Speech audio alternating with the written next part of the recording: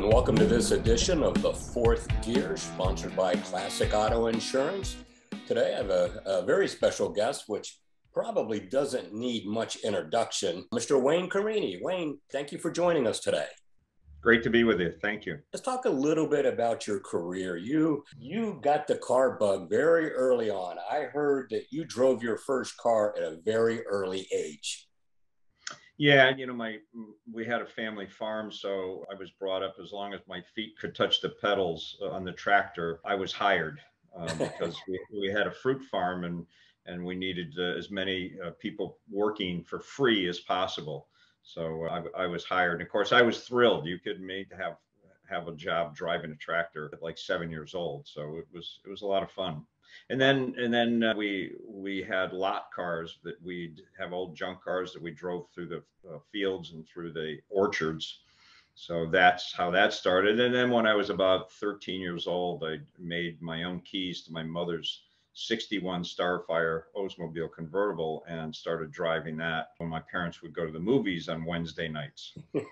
So, um, I got my start, and then of course in the driveway, steering the car and making my sisters push the car so I, I would pretend I was driving. That didn't work out one day really well though, uh, because uh, we got called uh, up for breakfast in the morning, and uh, I, I ran upstairs. And during breakfast, we heard this horrendous crash, and I'd left the car in neutral, and it rolled over the bank and smashed into a tree. And my father, he couldn't understand how that could happen because he had parked the car the evening before and could swear that he put the emergency brake on. Yeah, my sisters ratted me out. So. Siblings but, are yeah, great that way. Yeah, well, they were pressured, I'm sure. When it, when did you realize that that you were going to go down the automotive road? I mean, you you, you grew up, you went to college. You, I believe you were going to teach if if, uh, if my research is correct. Yeah, you know, during high school, uh, I, I sort of wanted a different career path than my father had because I saw him working seven days a week and and 16 hours a day sometime. And and you know, I said, boy, I, I don't think I want to do that. Even though I loved cars and, and was really into hot rods and and foreign cars and every type of car.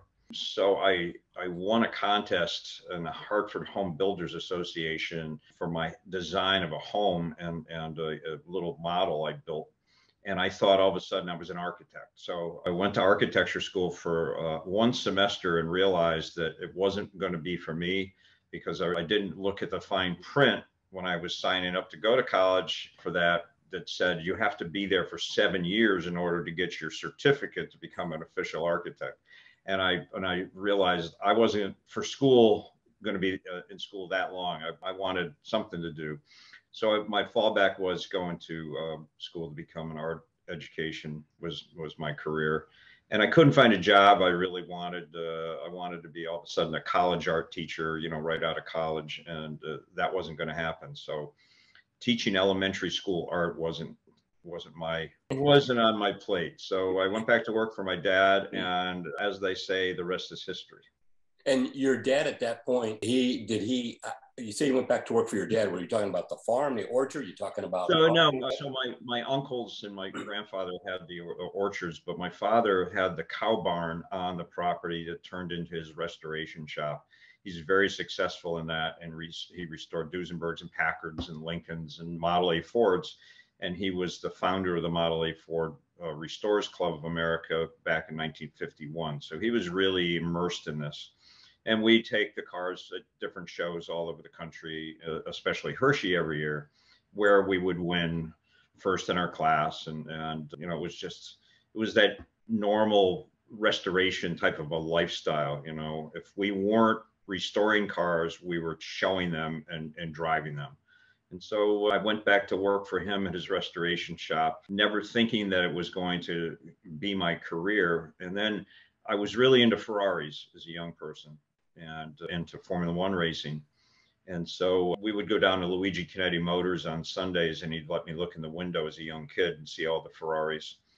So one day, one of his clients uh, bought a brand new Ferrari Daytona, and he he hit guardrails with the right side of the car. And so here I am, I'm 18, 19 years old, and he gave me the car to fix. He says, "You know how to fix this. You go ahead." It's it's your project. And so that really got me going on fixing Ferraris. And then when I went back to work for him, that Ferrari restoration aspect became really large. And I hooked up with a gentleman, Francois Sicard, who was a very well known restorer. And he and I restored cars together for approximately 25 years and showed them all over the country. And I got a great reputation. And, and then that just blossomed from there. And and Chinetti was the, I believe he was the first dealer to bring Ferraris into the country in New York. Is that correct? Luigi Chinetti Sr. was a race director at Alfa Romeo, and then he he became a very famous driver himself, working for Enzo Ferrari.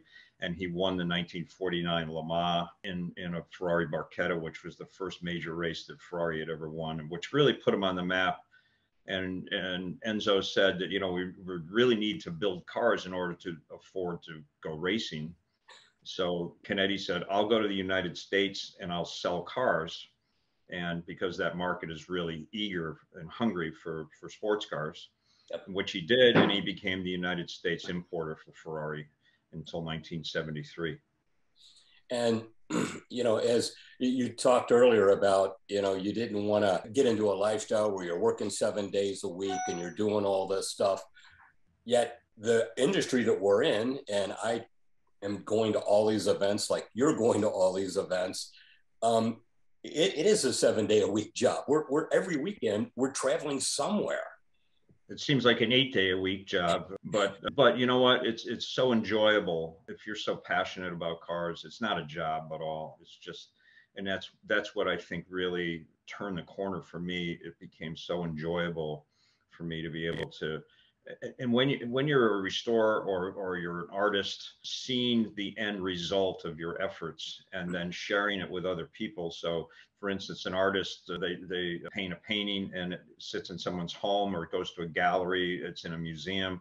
It's the same thing with cars. It's, it's like a painting that you're bringing to an automobile show and you're sharing it with others and you're seeing their reaction to it. And and that that's what drives us every day is is that is that sharing of ideas and of, of cars with other people.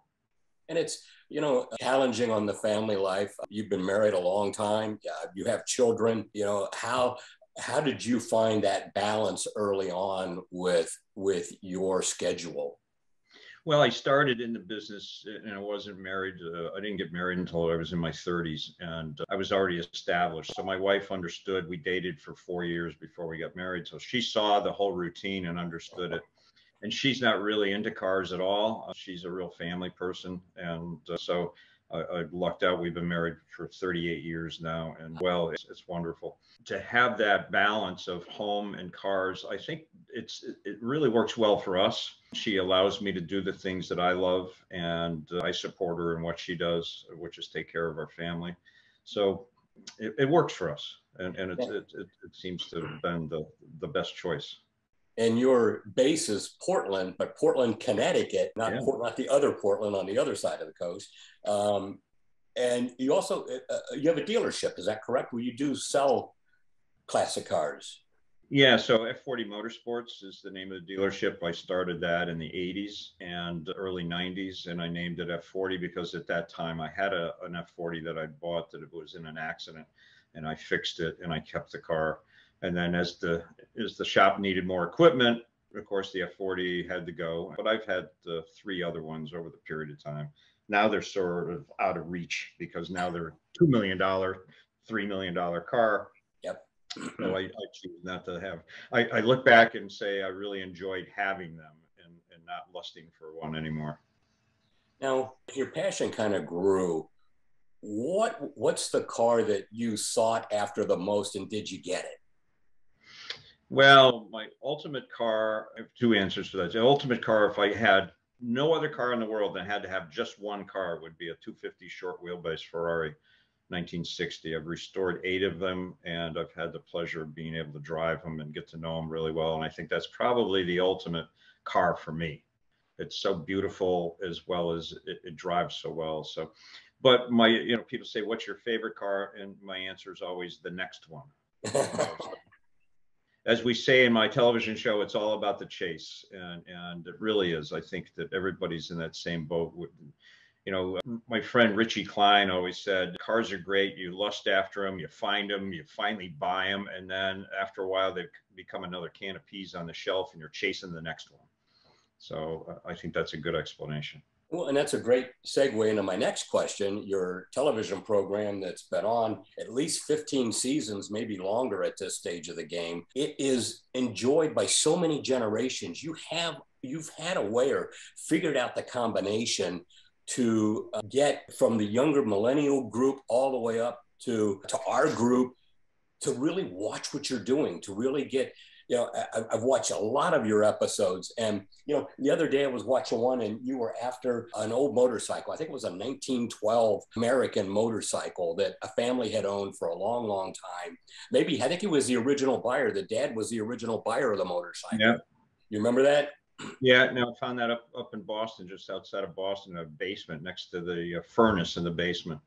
But uh, you know, those are the experiences. We basically, it's I'm very very fortunate that the, the show is not scripted. Nobody tells me what to do. It's just how, what I do uh, in my business and in my life. And uh, we don't. There's no swearing. There's no, nothing, and it's not fake.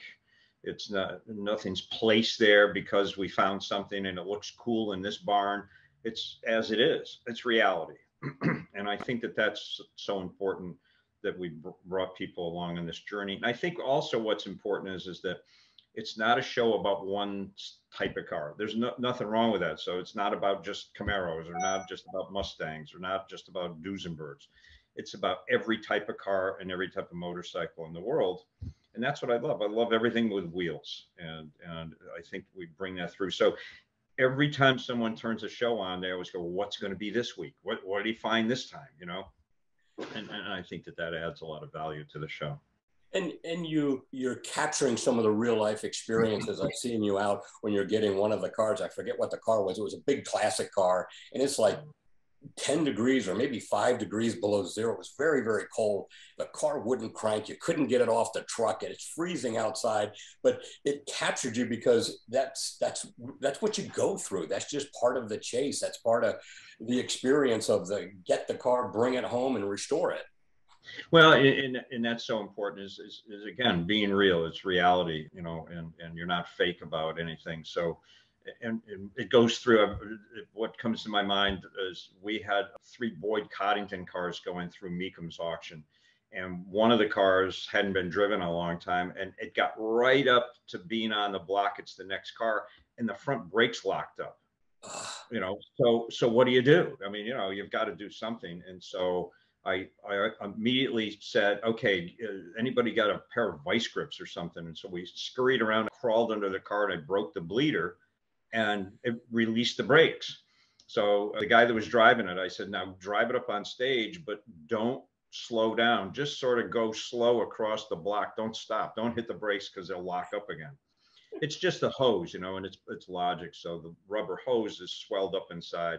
It allows the brake fluid to go to the brake caliper, but not to return. So it, it stays locked up. So you relieve the pressure in the brake caliper and the car drove. But these are the things you don't count on but yet and and, the, and my film crew is so good about showing that kind of stuff you know our cameraman gordy is just so good he'll he'll crawl underneath the car with me immediately you know it's not a setup shot where you know we're saying okay gordy the brakes are going to lock up over here so you get under the car with wayne it's just we work well together and, and know each other's movements i guess. So i've been really fortunate. Our show's been on for 18 seasons and over 200 episodes and we're now shown in 52 countries around the world. It's just it's an amazing thing how it took off and it became so popular. So uh, yeah. that coolness that you have i've seen we are at a at, i want to say we were at the boca concours a year or two ago and you and ralph marano were doing a seminar and you guys I'm totally unscripted. You guys were just going back and forth, bantering back and forth. You know, there's just no way of being able to write how you're going to present something. But you guys were just hilarious. I think it was one of the best seminars I've ever been to in my life, watching you two guys go at it. Yeah, well, when you got a great friend like I have and Ralph, it's easy to, to joke around together. We do it. I, I just got off the phone with him an hour ago, and you know we're whacking away at each other, but it's a lot of fun. We we have a ball doing it. But uh, people say, How do you know what you're going to talk about when you give a speech? And I say, I really don't know. I just stand up there and I, whatever comes to my mind. I, I, always remember, you know, talking to automotive people, that's pretty easy because everybody loves cars. That's your audience. But I spoke at a bankers convention once, and there was over 250 bankers there. After I gave my speech, a couple of guys came up to me and says, That's the best speech we've ever had at one of these conventions. And I said, Why is that? How can you tell? He says, Nobody got up and left. he says normally during these speeches people start talking amongst each other they go to the men's room they don't come back he says no one left and no one talked they listened to you intensely so i don't know what it is but if, if you just talk from your heart and just and, and and i think that that's the best way to do it no notes just get up and talk and you've been to about every major event across the country. You know, I, I don't know how much you travel. At one point, I was traveling 38 weeks out of the year. I was seeing you everywhere. So you had to be right there with me. What's one of your most fondest memories of, of all your adventures that, that, that comes to mind, a story you like to tell the most?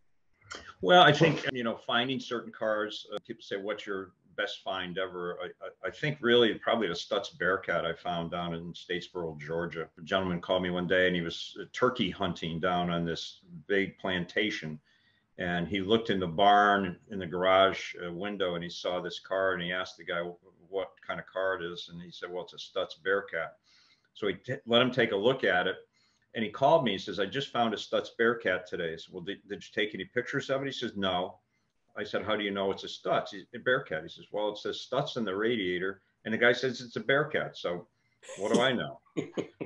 I said, well, I said, could you take some pictures of it?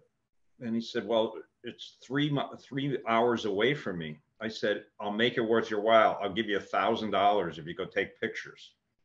So he got in the, in the, truck and went and took pictures of it, and it was a Stutz Bearcat. I was there two days later and I was only there for about an hour and I owned it. Wow. And I'd set up my friend. So sometimes people get second thoughts about selling something, you know, you let it sit for a week and next thing you know, you know, they send your check back to you. I'm a big believer in as soon as the deal is done and you wire the man the money, you, you remove it from the property immediately. And so I called my friend Andy Green and, and he's in Savannah. And I said, Andy, I'm going to buy this car at 10 o'clock tomorrow morning. I need you there with the trailer at the end of the guy's driveway. So when when it's officially mine, you pull in and we remove it. And uh, so after the deal was done, I said to the guy, I said, okay, you got the money in your account. Can I take the car? He says, yeah, sure. So I said, well, I've got a friend of mine from Savannah. He's going to come and pick it up. And then Andy pulled into the driveway 10 minutes later and he said, that was the fastest trip from Savannah I've ever seen in my life.